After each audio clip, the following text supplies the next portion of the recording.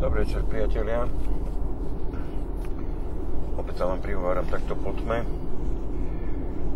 Dneska by som rád natočil video, ktoré neviem ešte ako nazvem, ale do veľkej miery budem hovoriť o hambe.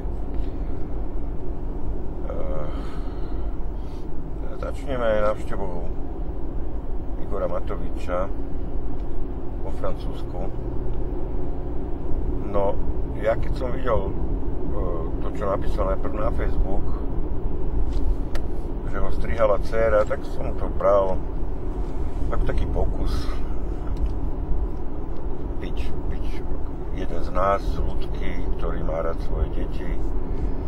Mám na mysle samozrejme tú jeho, tú jeho story o tom strihaní, lebo je lockdown, takže ešte aj tak pedagogicky sa k nám prihovoril. No a ako sa ostrihať? No tak najlepší nápad je, aby premiéra krajiny ostrihala jeho 11-ročná dcera. Aby som nevyzeral jak hyena, ja mám tiež deti, síce staršie, ale aj moje deti všetky, keď sú, sú staršie, mali 11 rokov. No v živote by mi nenapadlo, aby ma strihali, a to som teda premiérom nebol, e, som, som analytik, no, ale neriskol som si nehať sa strihať deťmi, lebo vieš, som chodil často do televízií a teda nie, že by som bol nejaký delonovský typ, ale určite by som sa nenehal strihať jeden za ročným synom alebo dcerou. Ale prosím, pokiaľ to bola fabulácia myslená v dobrom, dajme tomu. Ale premiér Matovič eh, sa vybral na navštevu do Francúzska a toto tam vykvakal Macronovi. E, protokol, neprotokol. E, problém je, že aj keď nie sme pupok sveta, je to viac, viac menej povinná jazda pre všetky väčšie televízie, keď francúzsky prezident niekoho príjme. A možno by to ostalo len tak na okraji, okraji nejakých správ, či už v rozhlase televízie po novinách, alebo na weboch. No nie, Igor Matovič e, vždy musí urobiť niečo také, aby z toho niekto urobil No nie hlavnú správu, ja to určite nie.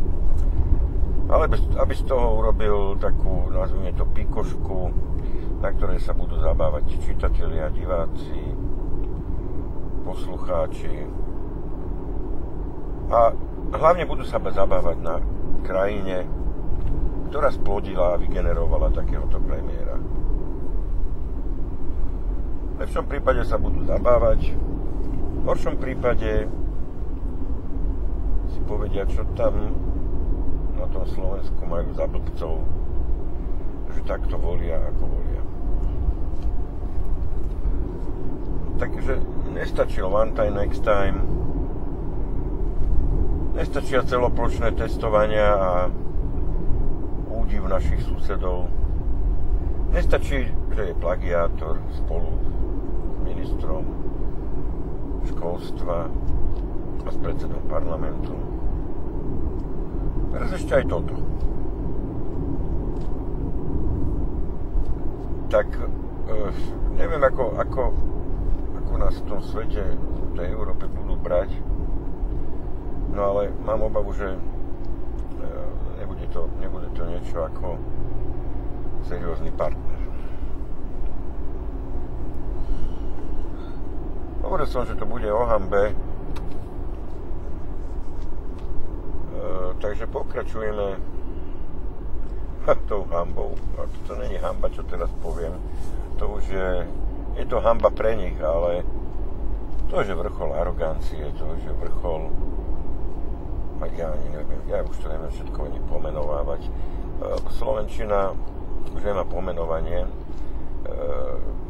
poviem stupidita, môže byť najväčšia stupidita.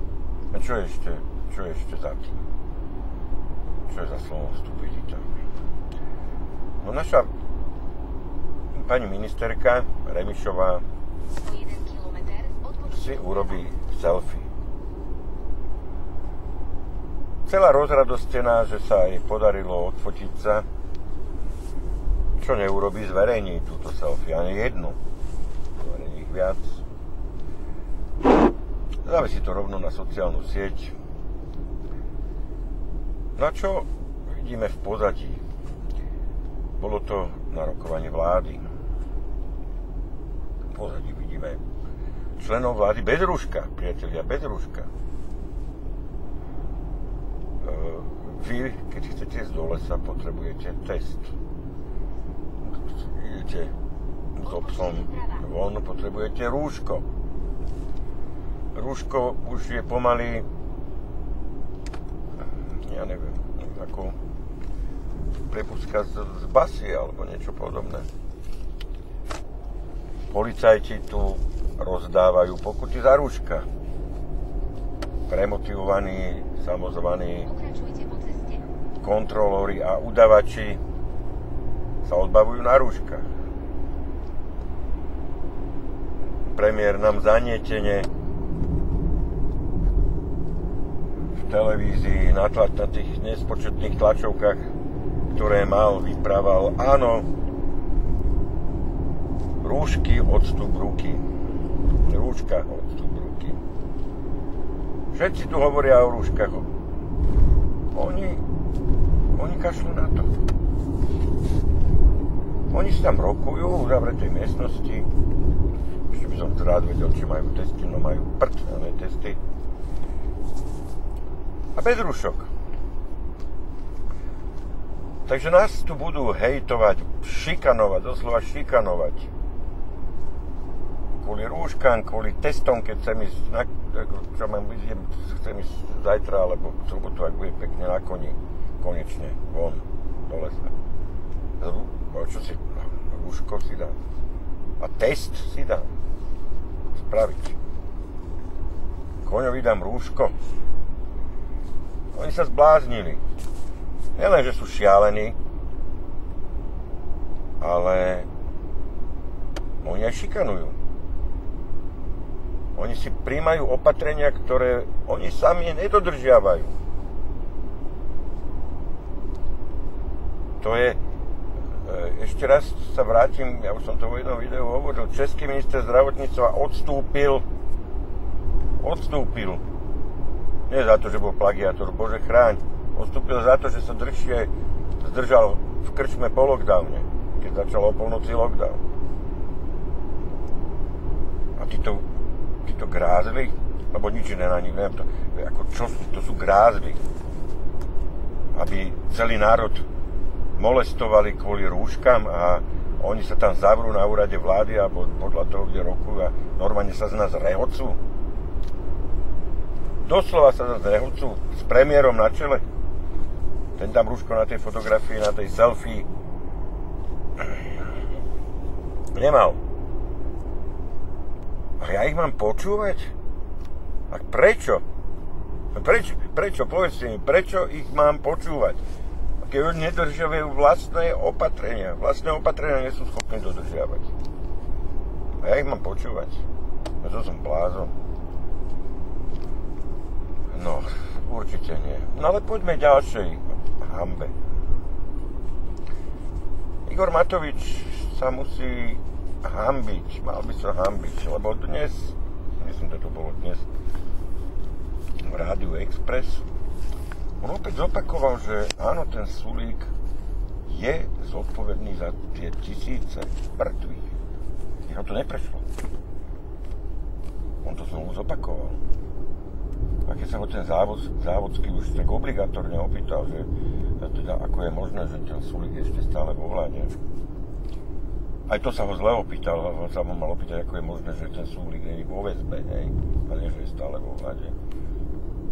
No tak Matovič zase už, už opäť až, až obligatorne mu odpovedal, že a ja si to nepamätám tie blúdy, niečo o stabilite koalície o tom, že sa že mafia sa vráti k moci a takéto hlúposti.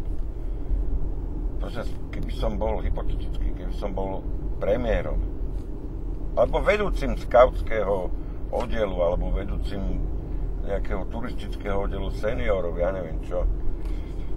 A keby som tam mal jedného jediného člena, ktorý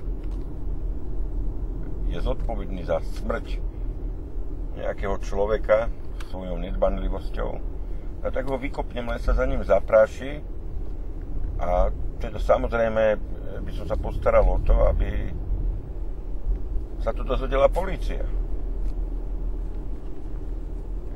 Takže toto je postup normálnych, normálnej spoločnosti, u normálnych lucidných ľudí. No lebo keď, keď máte takýto prípad, keď jednoducho nič iného neostáva. On zo Sulika urobil masového vraha, alebo teda ja neviem čo. Ale kvôli stabilite koalície on je vo vláde. Toto čo je za šialenosť? Toto už ani není hamba.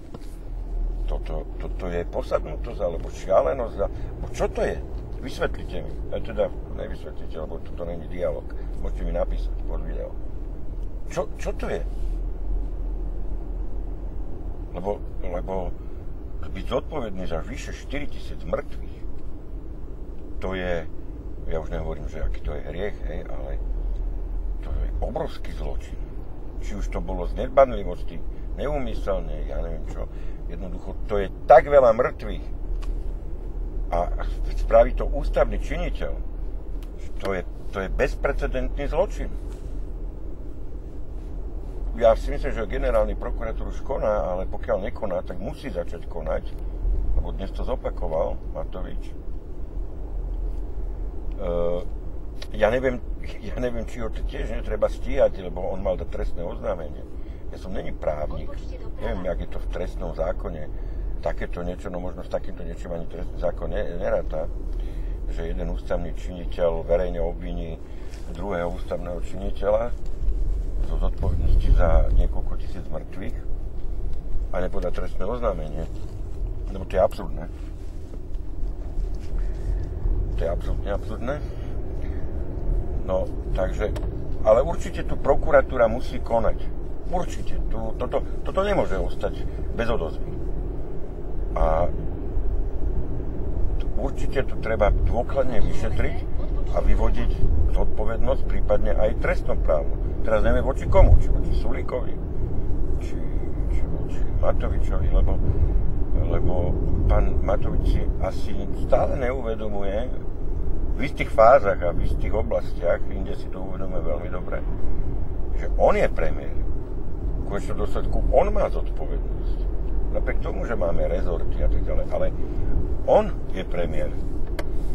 On ako premiér mal dohliadnúť na to, ak dal svojmu ministrovi úlohu, a keď ten nekonal, tak samozrejme mal zamedziť tomu, aby tu tie tisícky mŕtvych boli.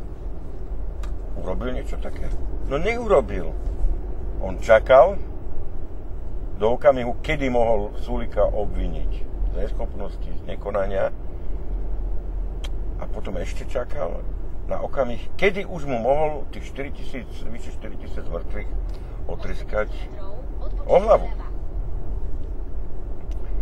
Takže toto je jednoducho absolútne neakceptovateľné. Toto nemôže ísť do, do luftu, len takto skončiť vo vzduchu. A už, viete prečo nie? Už len preto nie, aby sa konečne ľudia naučili, no a teda tu už ani neviem, že priemer, že nemôžeme trepať len tak do vzduchu, čokoľvek. Čo nám v tých chorých hlavách napadne, a tak si poviem, trepnem to prepnem takú blbosť, lebo sa to dobre počúva, dobre to znie a zaujímam pozornosť a budú titulky v novinách. Jednoducho nie. Lebo toto je veľmi vážne, veľmi, veľmi vážne obvidenie. Ja neviem, či si toho neuvedomuje. Ja dúfam, že si to prokurátor generálny uvedomuje. Toto je veľmi vážne obvinenie. Niekoľko tisíc mŕtvych nie je sranda. O jeden kilometr odpočte do... Samozrejme, aby sme si boli e, na čistom, je to blbosť. Je to kvadrátna blbosť, čo tvrdí Matovič. Ak si myslí, že to, to, to jeho SNP2 eh, by zachránilo tisíc životov, to je hovadina. Tí ľudia by sa tam akurát nakazili, tak, jak sa nakazia teraz. Na, teda na tomto SNP 2. E, 3, pardon, toto už je SMP3, lebo SMP2 bolo na jeseň a toto je SMP3. Takže je to kvadrátna blbosť. Ale ak on je presvedčený, že to není blbosť, a ak on je presvedčený, že Sulík je zodpovedný na 4 tisíc a viac mŕtvych, on musí konať, a keďže to je veľmi vážne obvinenie, musí konať generálny prokurátor. No poďme ďalej. No poďme poďme k e, našej ministerke pevnej ako skala. Tá, to, je, to je normálne, e, vybuchne sopka po milión rokoch tam ostanú tie sopičné vyvreniny, s čím nepohnete. To, to nepohnete s takou sopkou. A ona je taká vyhasnutá sopka. Lebo s ňou nepohnete. S ňou nepohne nič tak jej spácha jeden zadržaný, respektíve jeden, jeden podozrivý vo väzbe samovraždu, údajne samovraždu. Ona sa nepoučí. Jej spácha samovraždu a Jankovská. No samozrejme, ten pokus o samovraždu nebol, nebol úspešný. To asi viete toto není na odstúpenie. Opakovať, zopakuje sa to isté v priebehu ani ne, e, no, no niečo viac ako mesiaca, pardon. Vlastne to, to isté sa opakuje a ona dostáva? Ako, kedy sa naši politici konečne naučia niesť zodpovednosť za svoje činy, či už z minulosti, za podvody z minulosti, kedy sa naučia dnes politickú zodpovednosť, ja chápem, že tá Kolíková tam nemôže stáť a 24 hodín denne kontrolovať tých zadržaných. Ale my sa bavíme o politickej kultúre a vyplývajúcej politickej zodpovednosti. A nič. Nič. Čo sa na Slovensku musí stať, aby niekto odstúpil? Alebo aby niekto z tejto garnitúry odstúpil? To, že ste sexuálny deviant, dôvod nie je to, že ste plagiátor, dôvod nie je. Dokonca to nie je ani dôvod v prípade, že ste plagiátor a minister školstva, ktorý, minister školstva, ktorý máte byť vzorom pre mladú generáciu. Ani to dôvod nie je. Ja neviem, čo sa musí stať. Asi, asi už čokoľvek. Respektíve inak. Čokoľvek sa stane, stále to nie je dôvod na odstúpenie člena vlády. Stále to nie je dôvod na to, aby sa niekto v, tej, v tom parlamente zdvihol prdel z koaličných poslancov samozrejme, aby vyzval na odstúpenie. Stále to nie je dôvod na to, aby prezidentka z úcty k úradu, z úcty k úradu, nepoviem, aby zdvihla prdel, ale aby sa konečne zdvihla, aby vyzvala verejne vládu a členov na preberanie politickej zodpovednosti. Lebo dávajú katastrofálny príklad, e, príklad e, do budúcnosti precedensmi, ktoré robia pre nasledujúcu vládu, pre mladú generáciu a vôbec pre celé obyvateľstvo. No, e, ako teraz, keď ľudia videli tú, tú selfie z úradu vlády, zo zasadnutia vlády, no čo, bez tých rúšok, prečo by mali oni nosiť rúška? A potom sa tí istí ľudia postavia k mikrofónom a začnú, začnú sekírovať, aby sme tie rúška nosili. No čo je, čo je toto? My sme vám na posmech, my sme handry, budete si o nás obtierať huby, nevymáchané, nezarúškované huby. A potom sa budete rehotať. Lebo ja už neviem si to predstaviť, čo tam, čo tam robíte. A už keď sme pri tej prezidentke. Ja som sa dnes dozvedel od Igora Matoviča, že ona sa s ním nechce stretnúť. Čo on chcel, ale ona nechce. A mi ho je ľúto, som mal vlhké oči. Tak on určite všetkými možnými spôsobmi sa vnúcoval tej prezidentke, aby ho prijala. Ona nič. No, niekto tu klame niekto tu strašne klame. Ja si dosť dobre neviem predstaviť, že by prezident akéhokoľvek štátu, keď je dokonca takáto vražedná kríza, ako je e, vírus covidu so smrtnosťou 0,3%, že prezident akéhokoľvek štátu okamžite neprijal premiéra, keď ho ten požiada o stretnutie. No u nás je to inak. U nás sa asi prezidentka malovala pred zrkadlom a nechcelo sa jej zdvihnúť mobil, neprečítala si SMS-ku od premiéra, alebo ja, ja neviem čo. No, ale mám napriek všetkým výhradám voči prezidentke, mám jednu zásadnú pochybnosť, že ono to asi takto nebolo. A opakujem, napriek všetkým tým výhradám voči nej, ktorá sa s prezidentkou nemala stať, ale stala sa s ňou e, zásluhou politicko-marketingových e, hier, nazvem to takto, tak nemyslím si, že ona je v tomto prípade tá vinná, že sa tí dvaja nestretli. Ja verím tomu, že keby tú požiadavku od premiéra dostala, že by to akceptovala, že to stretnutie by sa odohralo. No a uzavriem to takisto na záver poviem niečo, za čo sa hambím. Ja sa za ňu hambím, za pani Čaputovú. Ona vidí, že tento národ padá na hubu. Ja som si dnes prečítal jeden taký list od jednej SZČO, od jednej ženy SZČO, ktorá, ktorá písala, ktorá žiadala o pomoc. Ktorá písala, že na to, aby tú pomoc dostala, sa musí prihlásiť ako dobrovoľne ako na platby do sociálnej poisťovne. Potom vraj údajne po dvoch mesiacoch štát zistil, že to je nejaké nevýhodné pre štát, lebo niekto tam podvádza, alebo ja neviem čo, ako keby nevedeli dopredu urobiť systém, kde sa nepodvádza. No tak taký systém neexistuje. E, takže ona, e, ona samozrejme nakoniec žiadnu pomoc nedostala. A dokonca teraz ani nemôže dostať pomoc